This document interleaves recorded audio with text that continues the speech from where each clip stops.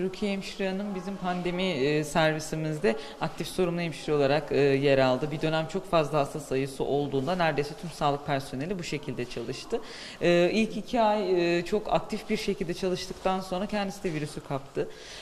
Ama maalesef hani bizi çok korkutan, yoran hastalarımızdan birisi oldu. Şöyle akciğerlerine çok yaygın tutulumları oldu kendisinin. Solunum sıkıntısı, yoğun bakım ihtiyacı, hani buradaki çok iyi bakım şartları diyeyim, personel arkadaşlarımızın, e, kendi meslektaşlarının çok ciddi bakımıyla, hani yoğun bakıma göndermedik kendisini ama neredeyse serviste yoğun bakım şartlarında takip ettik.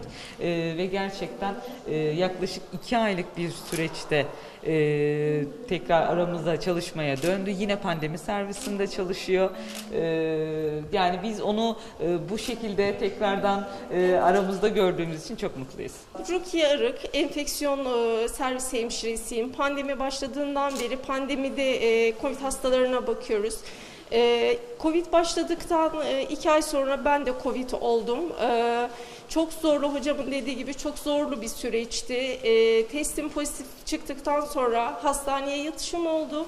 3 hafta hastanede e, takip edildim.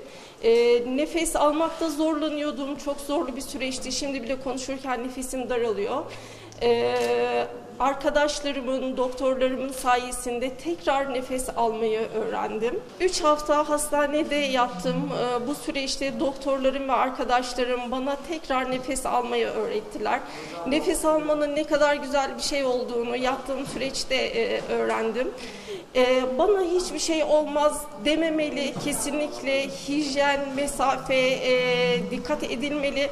Benim hiçbir kronik hastalığım yoktu ve çok zor bir süreçten geçtim. Eşim ve çocuklarım karantinada kaldılar. Ben hastanedeyken, ben burada zorlu süreç geçirirken onlar evde çok zor e, bir süreç yaşadılar. Karantinadaydılar, beni düşünüyorlardı. Kendileri de pozitif çıktı. E, Her ne kadar biz dikkat ettiysek de e, ister istemez evimize de taşıyoruz. Ee, zor bir süreçti gerçekten. Biz toplum sağlığı için kendimizden, ailemizden, eşimizden ve çocuklarımızdan fedakarlıkta bulunduk. Lütfen herkes e, mesafe, hijyen kurallarına dikkat etsin. Bizim hep gözyaşıyla geçti. İnanın e, sevinç gözyaşları ve üzüntü gözyaşları. Taburcu olan hastalarımız için çok sevindik. Gözyaşı döktük. Kötü olan hastalarımız için üzüldük, gözyaşı döktük.